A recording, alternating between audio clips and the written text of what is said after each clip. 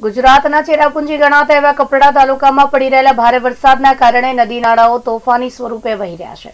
જેના કારણે કપડા તાલુકાના સરદા ગામના કાદોલ માળ ફળિયામાં જતા રોડના કોઝવે ઉપર પાણી ફરી વળ્યું હતું. આ ઉપરાંત બુરલા ગામની કોલક નદી પર બનાવેલ કોઝવે તથા સિરદા ગામના પટેલ પાડાનો લો લેવલ કોઝવે પણ ડૂબી જતા અનેક ગામો સંપર્ક વિહોણા બન્યા છે.